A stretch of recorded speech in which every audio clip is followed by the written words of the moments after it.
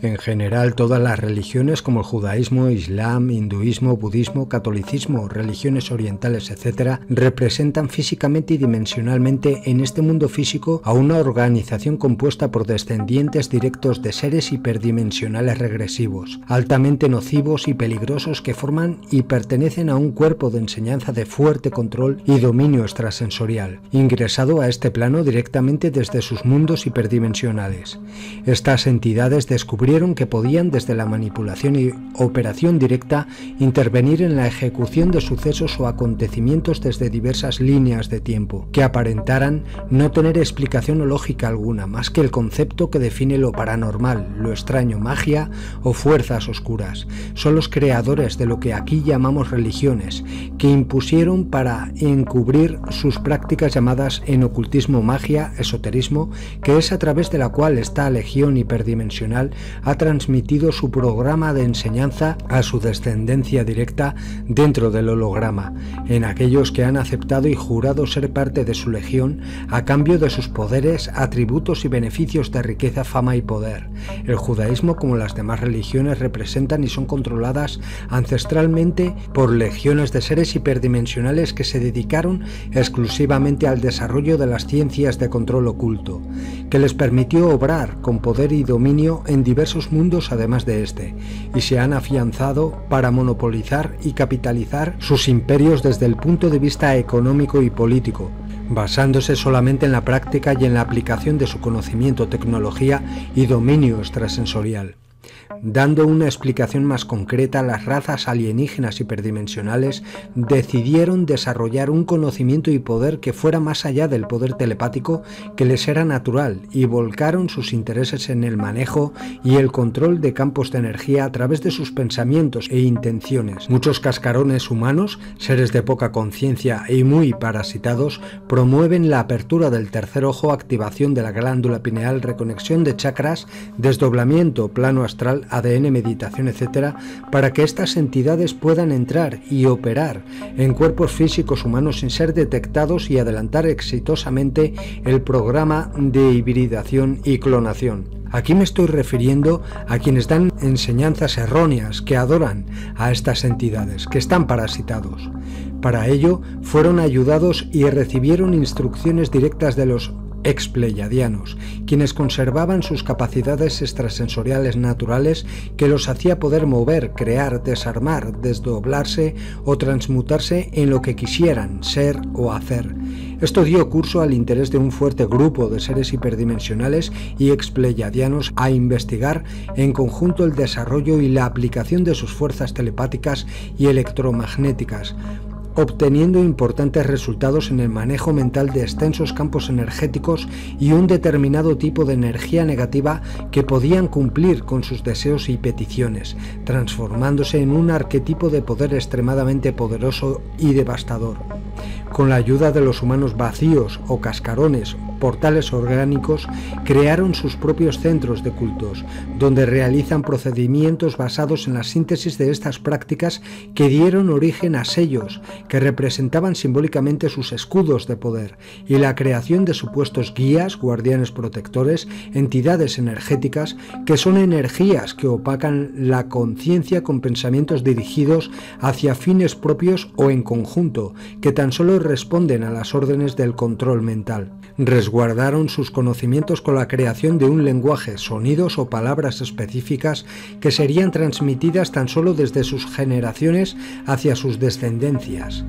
Este lenguaje y sonidos están basados en la pronunciación de claves y mantras que son llamados que invocan directamente a la fuerza de estas legiones de seres de la oscuridad hiperdimensionales, de los arcontes, que por ese medio, al abrir portales, acceden directamente a este plano o dimensión, convertidos en manifestaciones energéticas de polaridad negativa, para prestar su energía e intrusión directa cada vez que son llamados. Este lenguaje fue guardado en forma de sellos y elaboradas formas geométricas denominada por ellos claves de poder o geometría sagrada, que definirían y representarían la inclinación de culto que practicaría y prestaría como servicio oculto los integrantes de esta legión de seres hiperdimensionales, que con el tiempo fueron distinguiéndose en sus prácticas y potencialidades psíquicas, telequinéticas y corporaciones energéticas.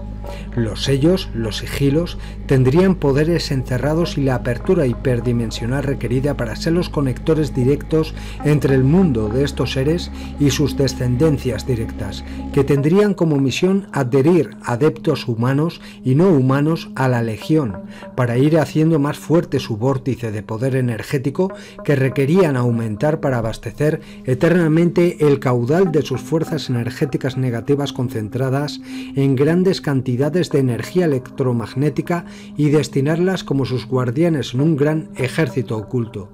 Por eso en las religiones se invoca al Señor Dios de los ejércitos y las huestes. Esta legión de seres hiperdimensionales pasó a convertirse en los protectores y asesores de las razas alienígenas y a sus descendencias humanas para dominio y perversión. Ellos cumplen eficientemente los pedidos otorgados por sus adeptos, trabajando para la misma causa.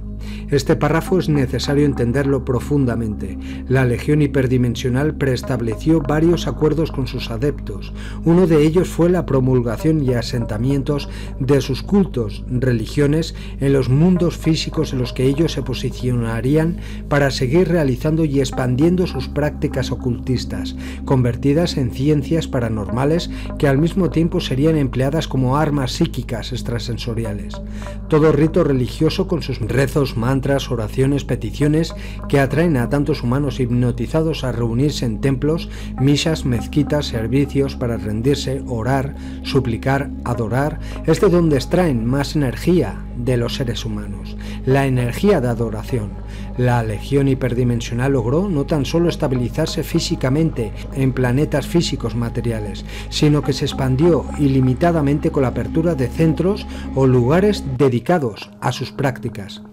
La permanencia en mundos físicos en un principio les facilitó la experimentación de sus prácticas basadas en ejercicios electromagnéticos y telequinéticos. Se movían sin problemas entre los humanos de la tercera dimensión, quienes los consideraban dioses supremos debido a sus condiciones de alta tecnología y conocimiento de miles de años. Estos seres aprovecharon la diferencia de conocimiento para llevar a los humanos a formar parte de sus proyectos, encubriendo la trama e intención bajo un seudónimo llamado religión, el lenguaje de los dioses, religión. Los humanos de la tercera dimensión, ante el asombro e ignorancia, consideraban a estos seres hiperdimensionales sus amos y sus dioses, estos a su vez convirtieron el reconocimiento en teorías basadas en argumentaciones que despertaran en los humanos votos de confianza, sumisión, adoración, servicio, lealtad y entrega de su luz, ante las pruebas que ellos mismos verificaban con sus poderes ante sus presencias. Así exigían y exigen de los humanos la entrega de su voluntad que implica entregar su fuerza, su control, su libre albedrío y capacidad divina. De ahí en adelante, la historia de los mundos físicos con sus civilizaciones pasaron a ser el fuerte del control de estas razas alienígenas y de esta legión de seres dimensionales, llevándolos a depender de apariciones y manifestaciones físicas de aquellos seres divinos que se les presentaban como sus dioses o seres superiores. Los expleiadianos eran los que se aparecían ante los humanos, debido a que sus apariencias físicas los hacían ser más confiables por ser rubios, altos, ojos claros, brillantes, cuerpos definidos, en comparación al aspecto de las otras razas alienígenas que causaban un impacto de rechazo y terror en los humanos de la tercera dimensión por sus apariencias verdaderas y por sus olores muy desagradables. Los expleiadianos y los Anunnaki son los forjadores de lo que hoy se conoce en este mundo como las religiones, para mantener a los humanos anestesiados y sometidos en sus apariciones basadas en representaciones de tecnologías muy superiores, a holografías, un ilusionismo que afecta a la psique y a los sentidos, que es lo más fuerte que manejan para crear falsos espejismos de gran impacto y además muy atrayentes en la visión de los humanos. Todo lo que consideramos milagros, apariciones, estigmas, fenómenos divinos y visiones sobrenaturales, etc., tiene por detrás la acción de los intermediarios expleyadianos. Las demás razas alienígenas se valen de este gran engaño a costa del pobre coeficiente intelectual en general de los seres humanos y de las civilizaciones de tercera dimensión. Los seres humanos no adoran a un solo Dios, sino que a muchos seres hiperdimensionales a través de sus religiones y han elegido estratégicamente lugares y sitios geográficos para sentarse cómodamente y desde allí manejar el interés y las necesidades de miles de personas crédulas en base al dolor, al sacrificio, al sufrimiento y a la divulgación de hacerlos sentir una raza secundaria necesitada que depende del poder de sus dioses. De allí en adelante la ley de la complicidad hiperdimensional religión sería el engaño más eficiente y efectivo para llevar adelante sus gobiernos ocultos y la base de sus riquezas económicas, todo lo que tienen en ostentación como sus pérgolas, templos, monasterios e iglesias están construidas científicamente y tecnológicamente bajo los planos arquitectónicos hiperdimensionales, en lugares de concentración de energía de líneas nodales muy específicas. El judaísmo representa el origen de las religiones, el lenguaje de los dioses de la ciencia oculta y su magia con los rituales, los mantras y oraciones, las documentaciones que existen dentro de este mundo explicando lo que hoy expongo de forma muy resumida, yacen en mezquitas y en el Vaticano. La última raza atlante representó en su mayoría a esta legión de hiperdimensionales que estaba constituida por intermediarios directos que habían creado su propia descendencia en este planeta Tierra. Estos atlantes no murieron, se recluyeron en fortalezas subterráneas y submarinas y desde allí han ido haciendo su ingreso o entrada a nuestra sociedad sin problema alguno por los portales de los templos que ellos mismos han estado dirigiendo a través de sus humanos descendientes. Ese es el culto que los católicos rinden a Oanes, el dios pez, en su simbología del cristianismo, con el pez y la mitra del Papa.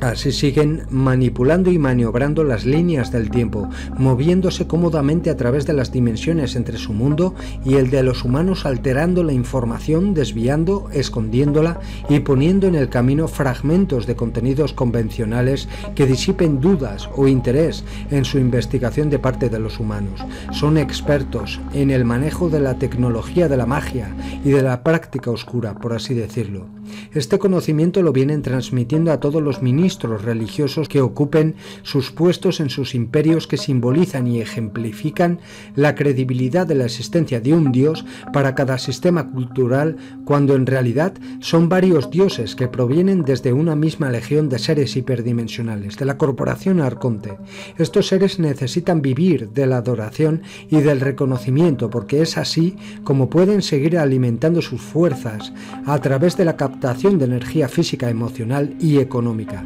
La economía es la base de sus imperios, es la forma que han manejado como organización e instrumentación de sus imperios y riquezas. De lo contrario, no existirían como razas. Ellos son seres materiales, en gen lumínico, sin espíritu. Es la única creación que conocen y son. No tienen el poder del espíritu divino en ellos, no tienen un alma, una porción de la fuente original. Todo lo que existe en nuestra sociedad practicado como esoterismo, ocultismo, psiquismo, satanismo, ritualismo, etc., procede de esta fuerza que concede generosamente su poder a aquellos humanos o civilizaciones hiperdimensionales que les entregan sus vidas como paga de la estabilidad de ellos, que no es eterna. El judaísmo no representa a una religión. Representa una parte de la legión hiperdimensional que trabaja en grupos sectarios muy cerrados y poderosos que construyen sus imperios económicos a través del sello hiperdimensional específico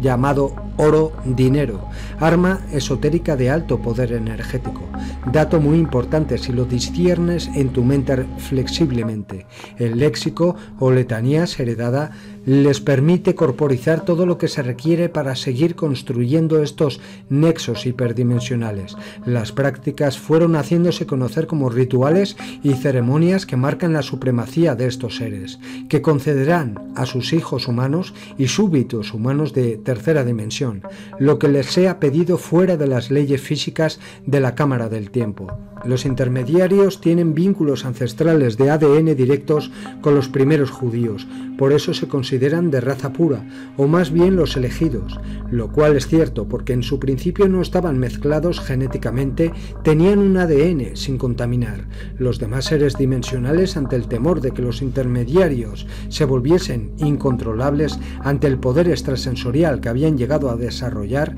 decidieron aparearse con la descendencia directa de los intermediarios y así mezclar sus ADN originales. La verdad detrás del genocidio de los alemanes hacia judíos se oculta un viejo y maligno resentimiento de seres alienígenas de raza draco-reptoides que conforman las once castas privilegiadas que nunca estuvieron de acuerdo con la decisión que tomaron los intermediarios en tener a su propia casta genética. Hoy sus descendientes de su oscuridad niegan el genocidio y quieren resucitar al nazismo para obtener el favor y poder de estas entidades. ¿Cuántos ignorantes testaferros caen en sus trampas? Esta legión de seres tienen que ver en todas sus limpiezas de borrado planetarias que se han venido haciendo. Han borrado sus huellas creando cortes en la secuencia lógica de la información que han tomado como partida para hacerles creer a los seres humanos como historias místicas divinas en versiones bíblicas